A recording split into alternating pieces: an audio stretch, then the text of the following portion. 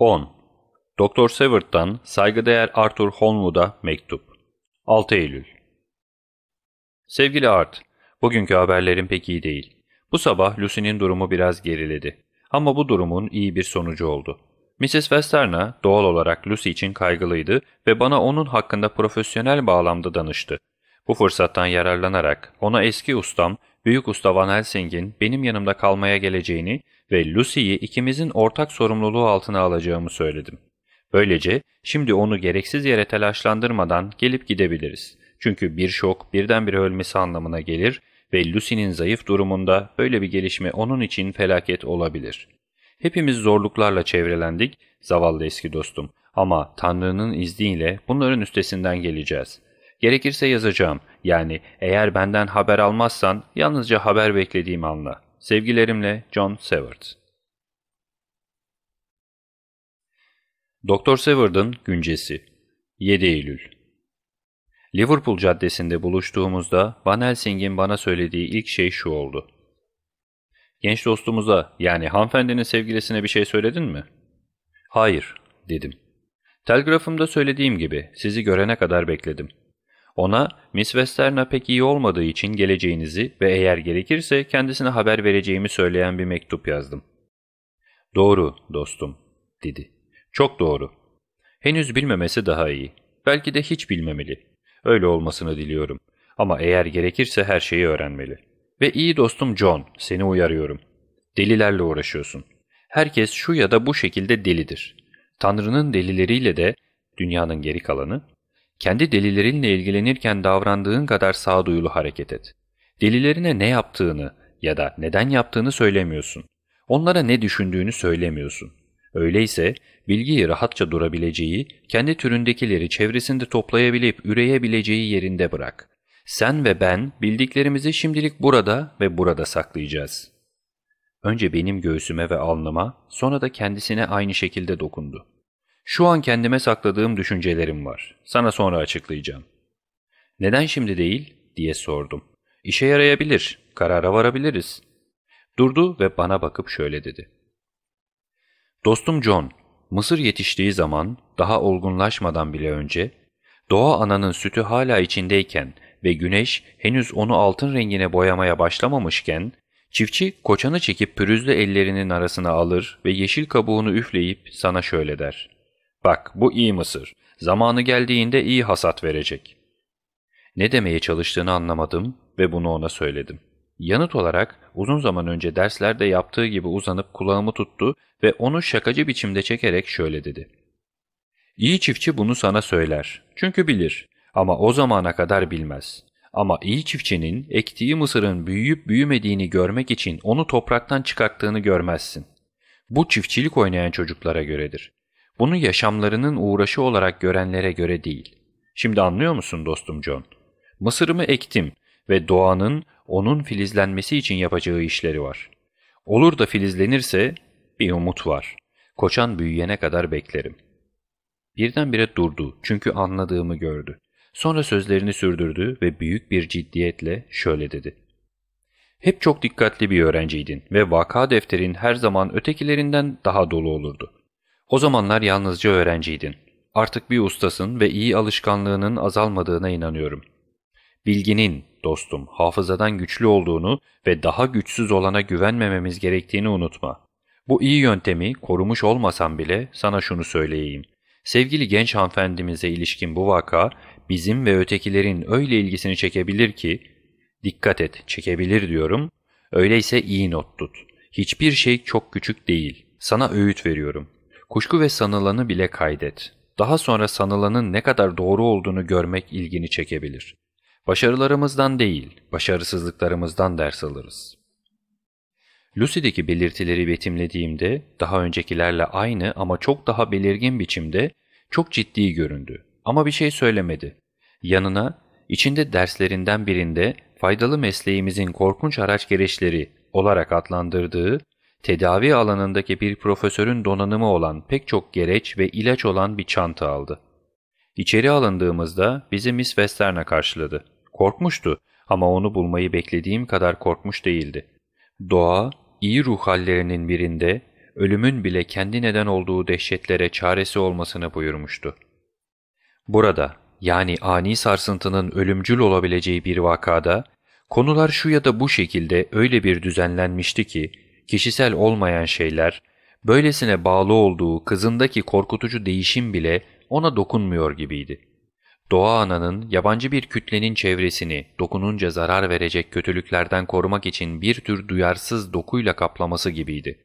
Eğer bu duruma göre düzenlenmiş bencillikse o zaman herhangi birini egoizm ahlaksızlığıyla suçlamadan önce durmalıyız. Çünkü nedenlerinin bizim bildiğimizden daha derin kökleri olabilir. Ruh hastalığının bu evresine ilişkin bilgimi kullandım ve kesinlikle gerekli olduğu durumlar dışında Lucy'nin yanında olmaması ya da hastalığı hakkında düşünmemesi gerektiği kuralını koydum. Bunu canı gönülden kabul etti ve canı gönüldendi ki bir kez daha karşımda yaşam için savaşan doğanın elini gördüm. Van Helsing'le ben Lucy'nin odasına götürüldük. Eğer dün onu gördüğümde şaşırdıysam, bugün onu gördüğümde dehşete kapıldım diyebilirim.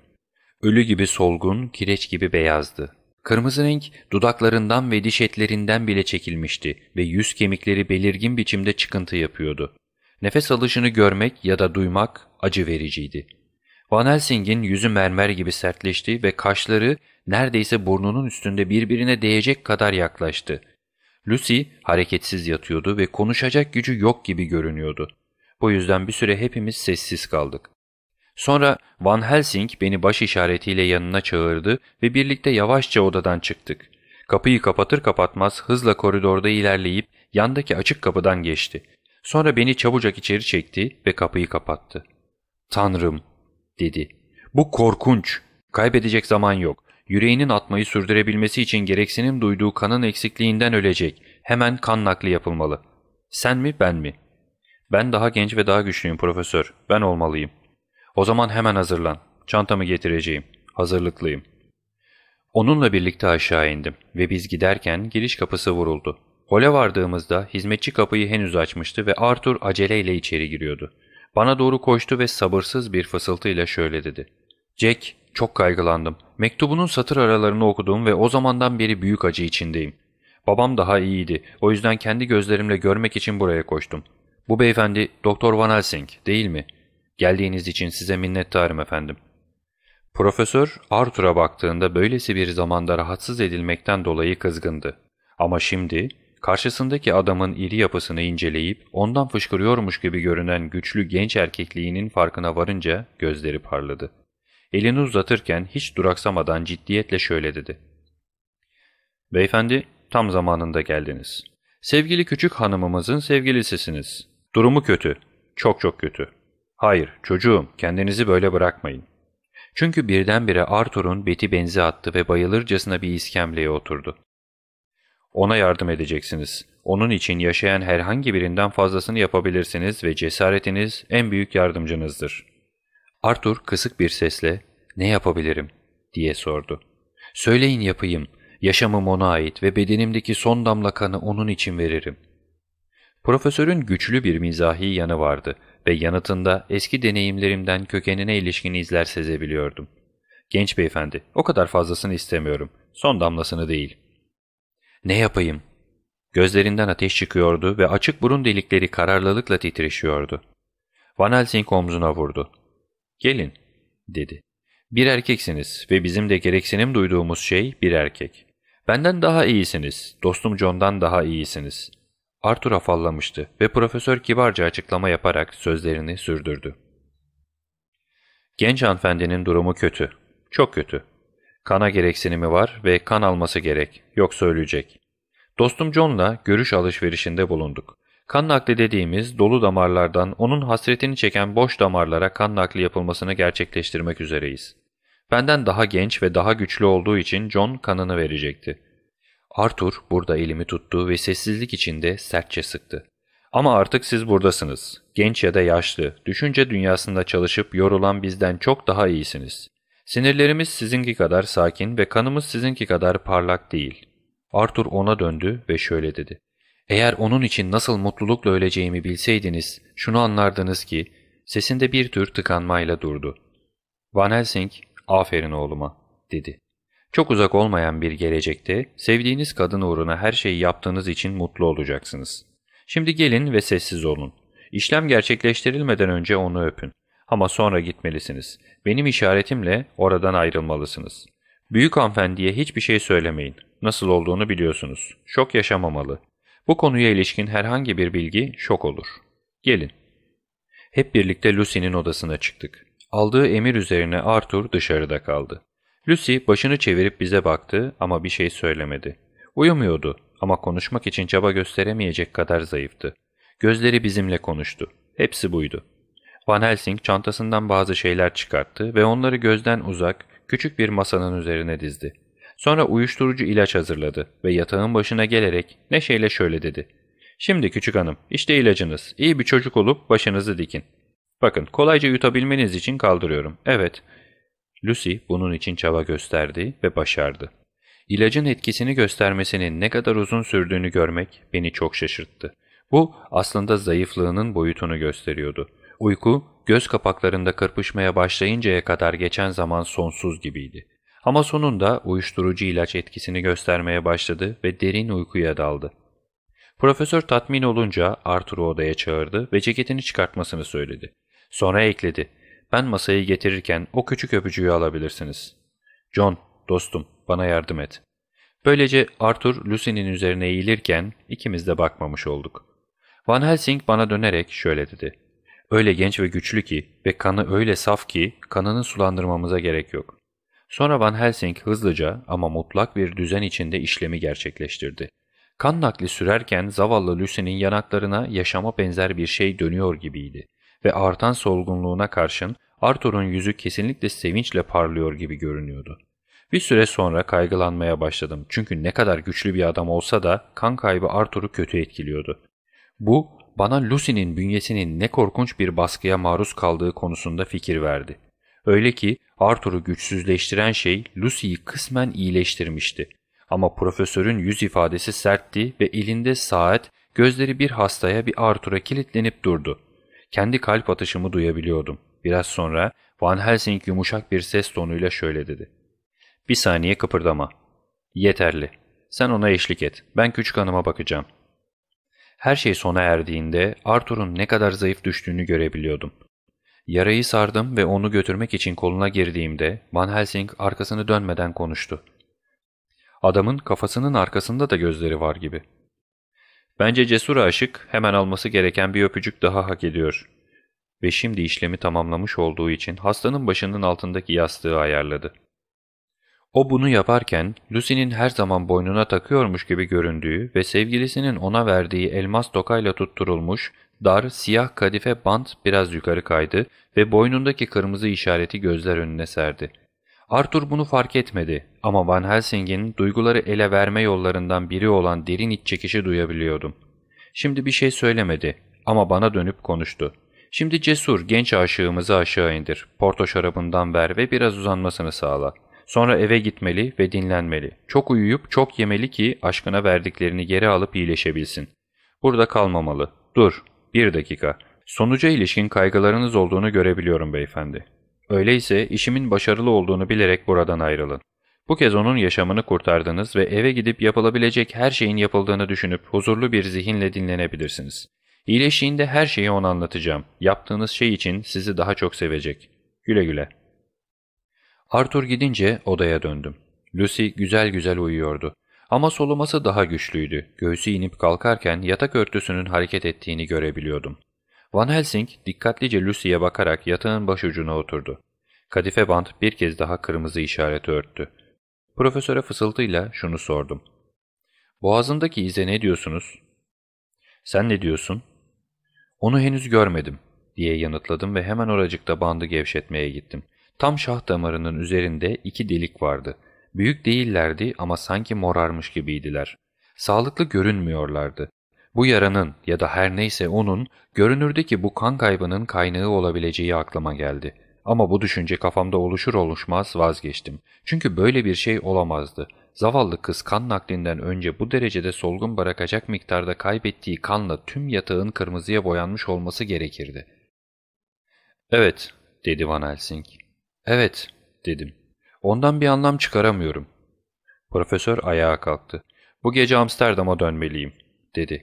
Orada bana lazım olan kitaplar ve başka şeyler var. Gece boyunca burada kalmalısın ve gözünü ondan ayırmamalısın. Yanıma bir hemşire alayım mı? diye sordum. Biz en iyi hemşireleriz, sen ve ben. Tüm gece nöbet tut. İyi beslendiğinden ve hiçbir şeyin onu rahatsız etmediğinden emin ol. Sonra uyuyabiliriz. Sen ve ben olabildiğince çabuk döneceğim. Ve o zaman başlayabiliriz. Başlayabiliriz mi? dedim. Ne demek istiyorsun? Telaşla çıkarken göreceğiz dedi. Bir saniye sonra geri geldi ve kafasını kapıdan içeri uzatıp uyarırcasına işaret parmağını kaldırarak şöyle dedi. Unutma, senin sorumluluğunda. Eğer onu bırakırsan ve zarar görürse bundan sonra rahat uyuyamazsın. Doktor Seward'ın güncesi. Devam. 8 Eylül Bütün gece Lucy'nin yanında oturdum. Uyuşturucu ilacın etkisi alacakaranlığa doğru ortadan kalktı ve kendiliğinden uyandı. İşlemden öncekine kıyasla farklı bir insan gibiydi. Morali bile iyiydi ve mutlu bir canlılıkla doluydu. Ama maruz kaldığı mutlak bitkinlik halinin izlerini görebiliyordum. Mrs. Westerna'ya Dr. Van Helsing'in Lucy'nin başında beklememi emrettiğini söylediğimde kızının yenilenen gücüne ve kusursuz moraline dikkat çekerek bu düşünceye neredeyse burun kıvırdı. Ama kararlıydım ve uzun gece nöbetim için hazırlıklar yaptım. Hizmetçisi onu gece için hazırladığında içeri girdim. Bu arada akşam yemeğimi yemiştim ve yatağının başucuna oturdum. Karşı çıkmadı ve göz göze geldiğimizde bana minnetle baktı. Uzun bir süreden sonra uykuya dalar gibi oldu ama çabalayarak kendini topladı ve uykuyu üzerinden silkeleyip attı. Bu durum zaman ilerledikçe artan çabalar ve kısalan aralarla defalarca yinelendi. Uyumak istemediği açıktı. Bu yüzden hemen konuyu ele aldım. Uyumak istemiyor musunuz? Hayır, korkuyorum. Uyumaktan korkmak mı? Neden? Uyku hepimizin mumla aradığı bir nimettir. Ah, eğer benim gibiyseniz, eğer uyku sizin için bir korku alameti ise öyle olmaz. Korku alameti mi? Ne demek istiyorsunuz? Bilmiyorum. Ah, bilmiyorum. Ve bunu bu denli korkutucu kılan da bu. Tüm bu güçsüzlük uykudayken üzerime çöküyor. Ta ki bunu düşünmek bile beni dehşete düşürene kadar. Ama sevgili kızım, bu gece uyuyabilirsiniz. Burada sizi izliyor olacağım ve hiçbir şey olmayacağına söz verebilirim. Ah, size güvenebilirim. Fırsattan yararlandım ve şöyle dedim. Size söz veriyorum, eğer kötü bir rüya gördüğünüze ilişkin herhangi bir işaret görürsem sizi hemen uyandıracağım. Gerçekten mi? Ah, gerçekten uyandıracak mısınız? O zaman uyuyacağım. Ve neredeyse bunu söyler söylemez rahatladığını gösteren derin bir iç çekişin ardından uykuya dalıp arkasına yaslandı. Bütün gece onu izledim. Hiç kıpırdamadı ve derin, huzurlu, canlandırıcı ve iyileştirici bir uyku uyuyup durdu. Dudakları hafif aralıktı ve göğsü sarkaç düzenliğiyle inip kalkıyordu. Yüzünde gülümseme vardı ve gönül rahatlığını bozacak tek bir kötü rüya bile görmediği belliydi. Sabah erkenden hizmetçisi geldi ve Lucy'yi onun ellerine teslim edip eve döndüm. Çünkü beni kaygılandıran çok şey vardı. Van Helsing ile Arthur'a işlemin kusursuz sonucunu anlatan kısa birer telgraf çektim. Kendi işlerimi, ki çokça kalmışlardı, bitirmem tüm günümü aldı. Zupagus hastamla ilgili bilgi almayı başardığımda hava kararmıştı. Rapor iyiydi. Geçtiğimiz gün ve gece boyunca oldukça sessizdi. Ben yemekteyken o sırada Amsterdam'da bulunan Van Helsing'den el altında bulunmam iyi olabileceği için bu gece Hillingham'da olmam gerektiğini ve bu geceki posta arabasıyla yola çıkıp sabah erkenden bana katılacağını söyleyen bir telgraf geldi. 9 Eylül Hillingham'a vardığımda oldukça yorgun ve bitkindim. İki gecedir neredeyse hiç gözümü kırpmamıştım ve beynim yorgunluk öncesi uyuşukluk hissetmeye başlıyordu. Lucy uyanıktı ve neşesi yerindeydi. Benimle el sıkışırken keskin bir ifadeyle yüzüme baktı ve şöyle dedi. Bu gece size... Bu gece size oturmak yok. Bitkinsiniz. Eskiden olduğu gibi çok iyiyim. Gerçekten iyiyim. Eğer birinin sabahlaması gerekiyorsa ben sizin başınızda sabahlayacağım. Bu konuda tartışmadım. Gidip akşam yemeğimi yedim.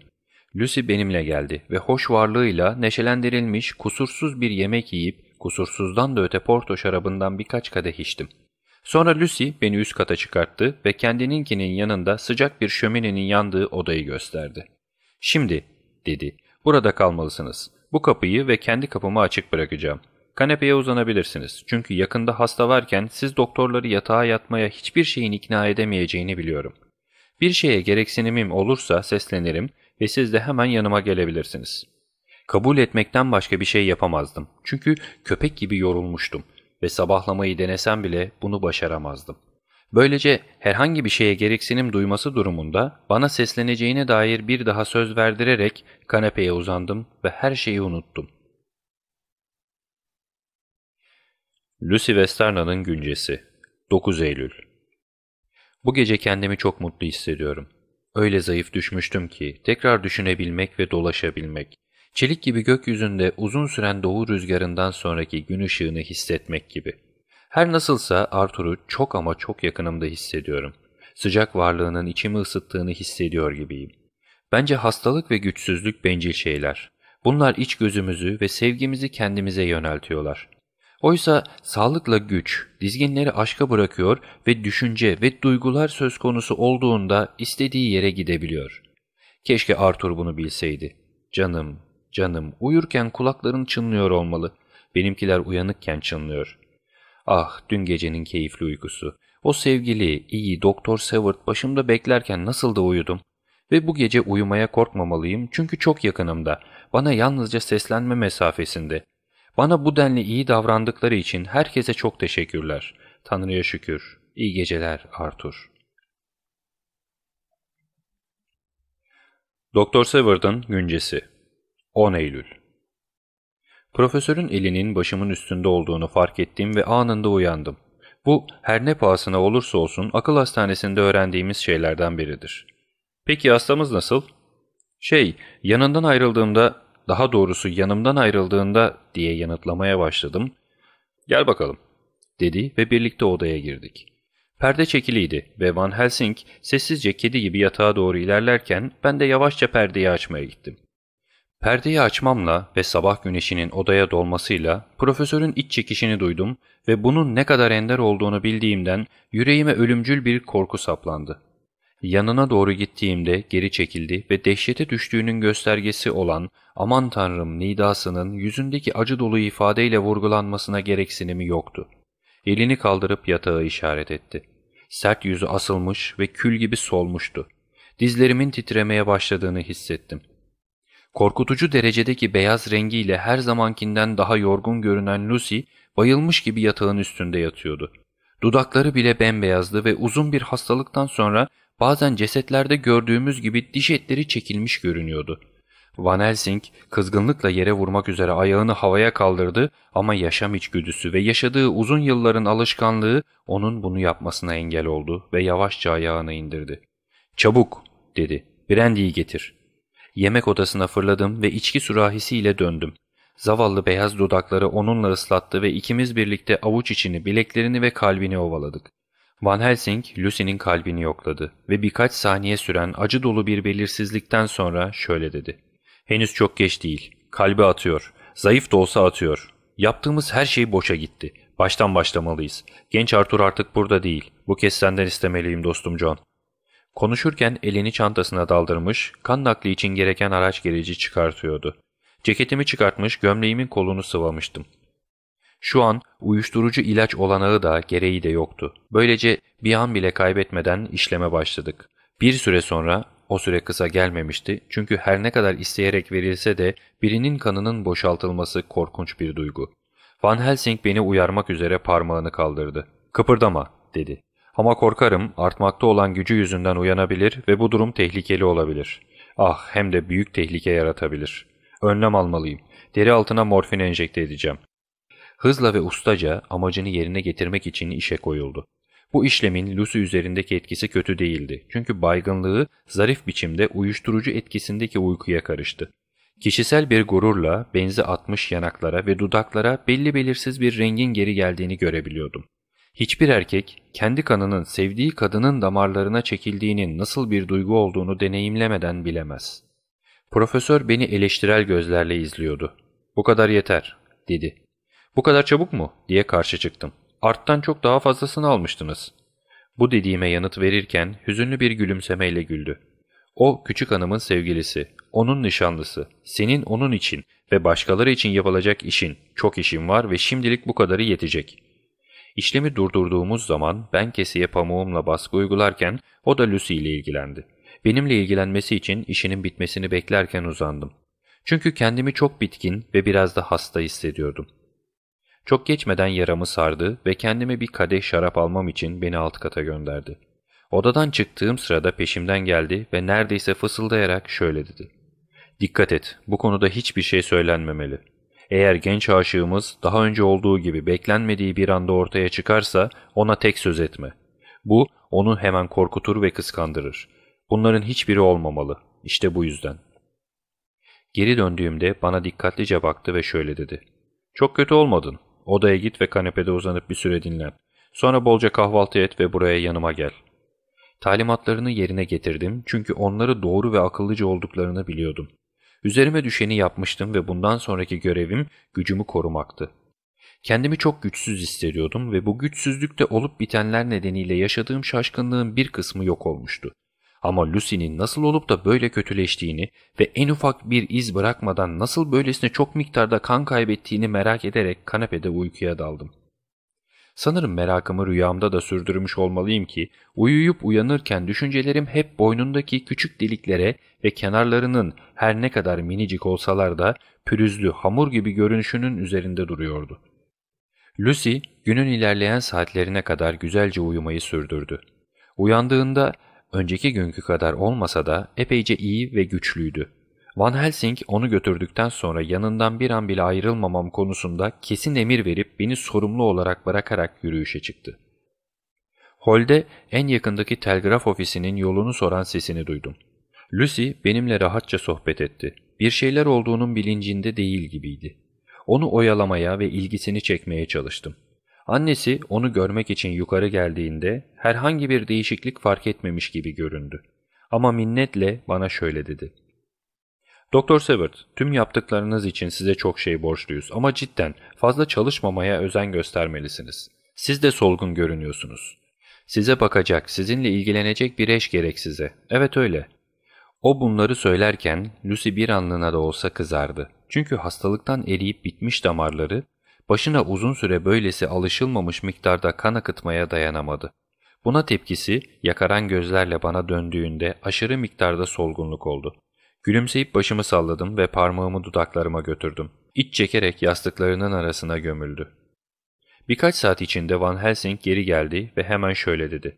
Sen şimdi eve git ve çok yiyip yeterince iç. Kendini güçlendir. Bu gece burada ben kalacağım ve küçük hanımın başında sabahlayacağım. İkimiz vakayı izlemeliyiz ve başka kimsenin durumu öğrenmesine izin vermemeliyiz. Bunun için çok önemli gerekçelerim var.